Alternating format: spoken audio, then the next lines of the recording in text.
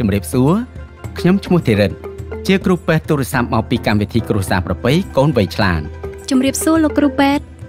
ថ្ងៃនេះខ្ញុំចង់ពន្យល់ប្អូន អំពីការពិនិត្យសុខភាពក្រោយសម្រាលនិងក្រមាពណ៌ខ្មៅចេញពីពោះកូន ចាលោកគ្រូអូននិងកូននឹងត្រូវមកពិនិត្យសុខភាពភ្លាមៗនៅសប្តាហ៍នេះនៅពេលកូនអាយុបាន7ថ្ងៃវាពិតជាសំខាន់ណាស់ដើម្បីឲ្យកូនធំធាត់មានប្រាជ្ញាវៃឆ្លាតហើយកុំភ្លេចយកបានលឿង និងសភៅពណ៌ផ្កាឈូកមកជាមួយផង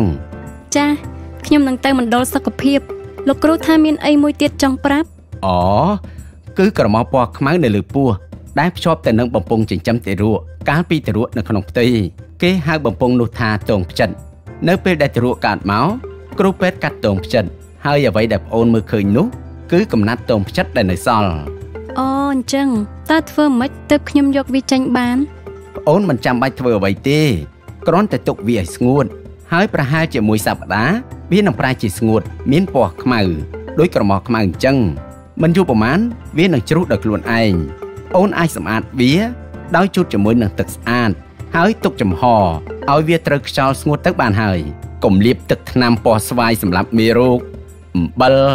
ឬអ្វីផ្សេងដែលមណ្ឌលសុខភាពមិនបានឲ្យចាស់លោកគ្រូប៉ុន្តែបើតងផ្ចិតទុនហើយសើម ឬឡើងក្រហមនៅក្បែរពោះ ឬហូរខ្ទុះមានក្លិនមិនល្អឬមានឈាម ទាំងនេះមិនមែនជាសញ្ញាល្អទេ